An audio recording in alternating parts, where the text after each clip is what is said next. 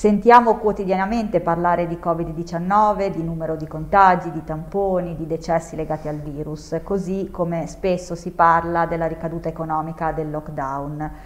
Ma c'è un altro aspetto eh, molto importante che viene purtroppo sottovalutato ed è l'impatto del, della, della pandemia sulla salute mentale. Per questo abbiamo invitato oggi, buongiorno in studio, il dottor eh, Giancarlo Ardissone che è il direttore del Dipartimento Integrato di Salute Mentale e Dipendenze dell'Aslun Imperiese. Buongiorno dottore.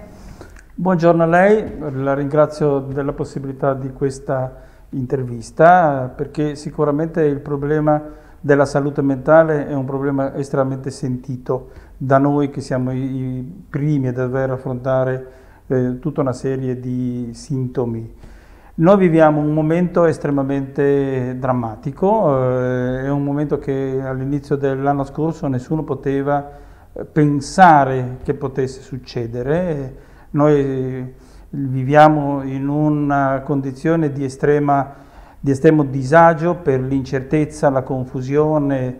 Abbiamo capito che le cose che erano sicure eh, fino a un anno fa eh, immediatamente, improvvisamente hanno perso tutta una serie di sicurezze. Il, noi sentiamo tutta una serie di commenti alla televisione di specialisti sia da un punto di vista medico sia da un punto di vista eh, economico che rappresentano una realtà estremamente critica dato che, eh, il, diciamo che il fondamento della nostra salute mentale è la sicurezza, eh, in una dimensione come quella che noi viviamo, eh, sicuramente le persone, anche le persone che hanno un'ottima resilienza, un'ottima capacità di sopportare delle situazioni difficili, possono essere messe in crisi.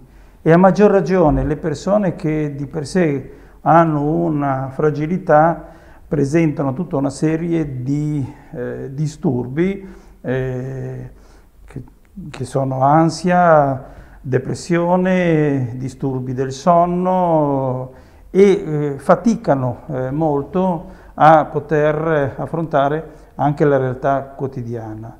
Il fattore che fondamentalmente è più ehm, è l'indicatore più efficace della nostra salute mentale sono la numerosità delle nostre relazioni.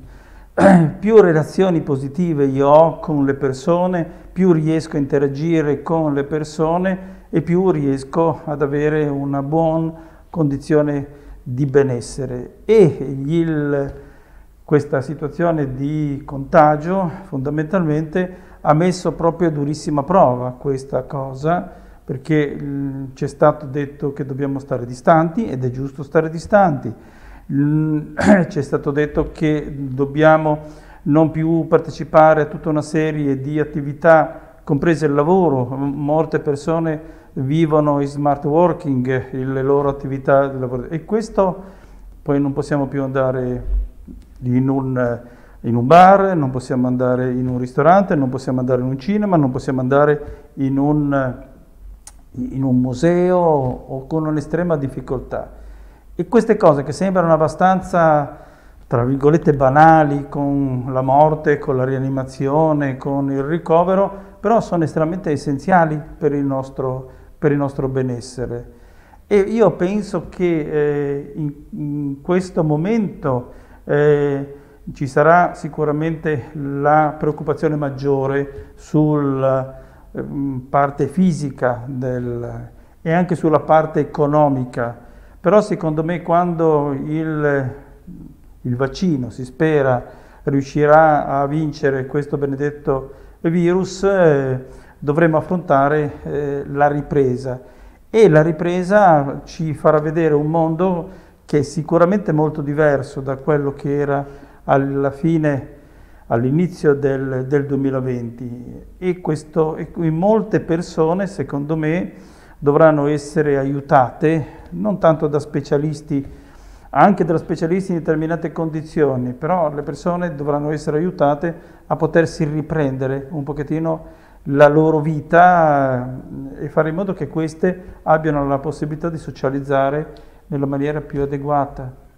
Forse è presto per avere dei dati, visto che il 2020 è appena terminato, ma facendo un quadro della provincia di Imperia, ha notato un incremento, una diminuzione so, di dipendenze, di disturbi che possono essere stress, eh, ansia, perché per esempio sappiamo che sono aumentate le vendite di farmaci per l'ansia, gli ansiolitici.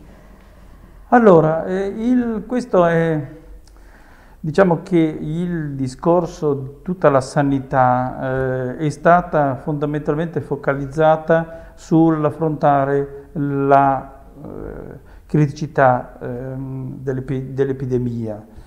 Perciò eh, molte persone che arrivavano ai servizi, sia servizi medici eh, non per il Covid e sia servizi diciamo, di psicologia e di psichiatria, eh, non hanno più trovato la disponibilità a poter affrontare con, in quella dimensione il loro problema. Un po' perché i servizi hanno ridotto eh, il, la disponibilità, un po' perché c'è stata questa pressione eh, molto forte eh, di stare a casa, di, di, non frequentare dei posti dove si poteva essere degli assembramenti e perciò fondamentalmente noi abbiamo trovato una diminuzione di ehm, accessi. Eh, nelle, eh, nelle epoche in cui c'è un malessere generalizzato,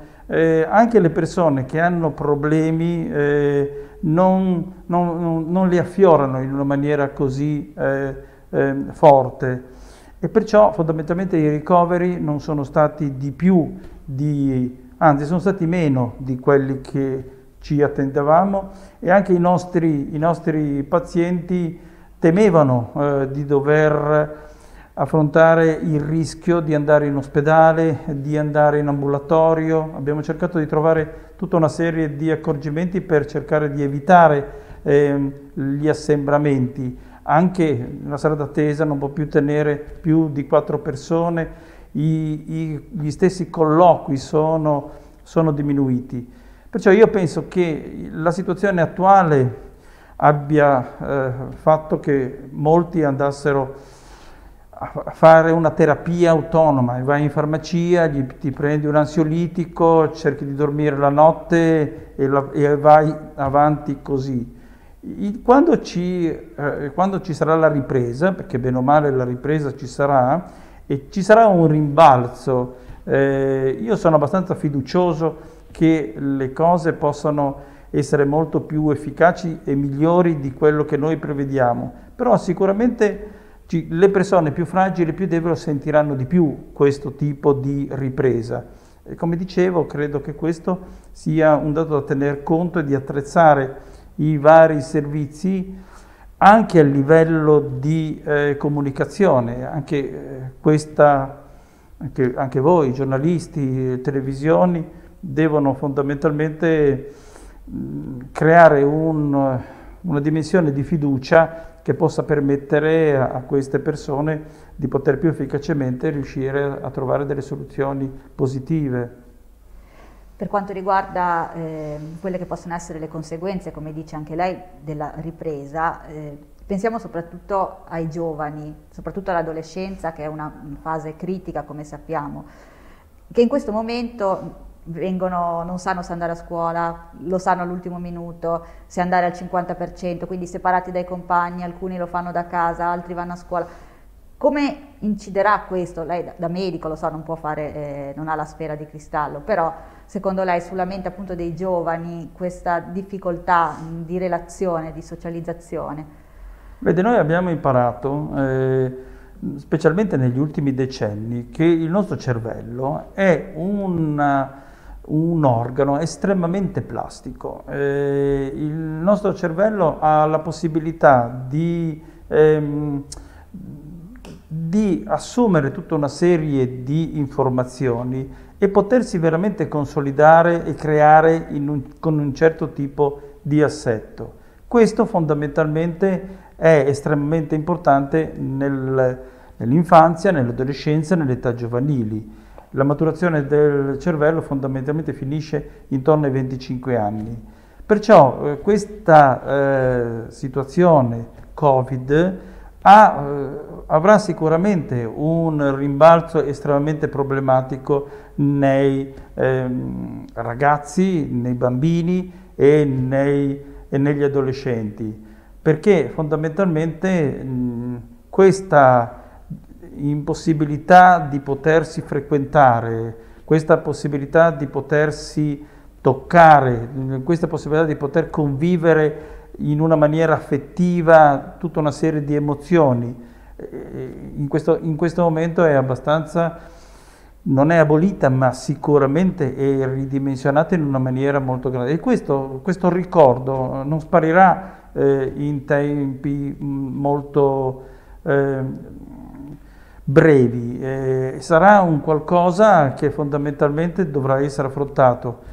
Per certi sarà addirittura una condizione traumatica che dovrà anche essere eh, curata per ristabilire una normale capacità di eh, socializzare.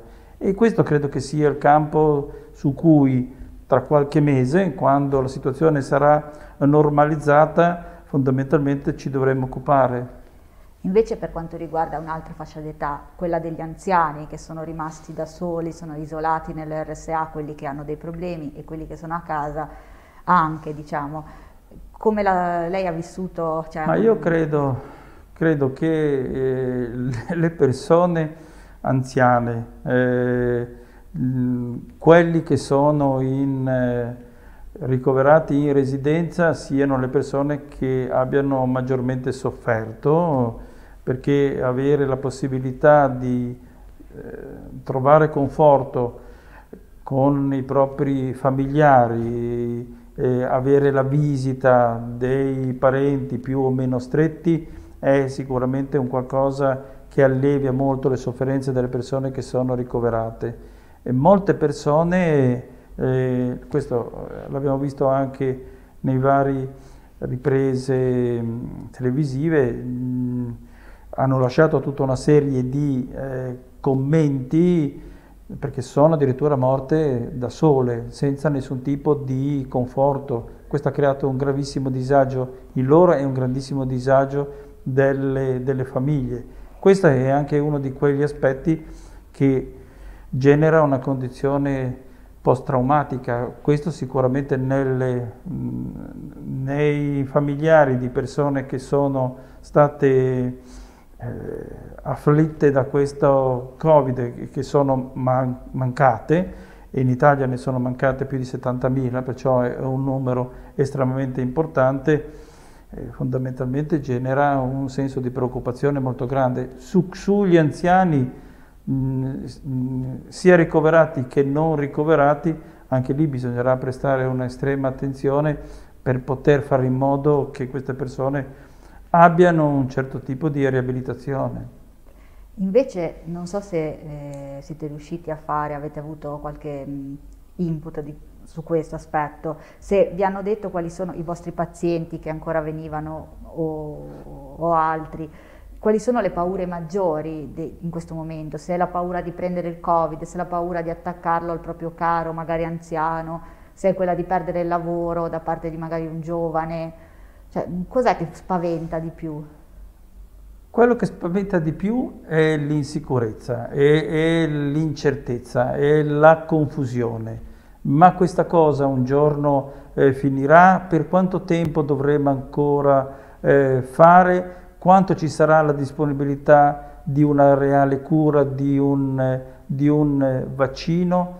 Eh, poi è declinato in eh, ho paura di eh, prendermi il Covid, se prendo il Covid che cosa succede? Però la cosa fondamentale è proprio la, il senso, diciamo, di, diciamo, della disperazione che non c'è un qualcosa di sicuro, di, di certo che ci possa un certo, per un certo momento sollevare.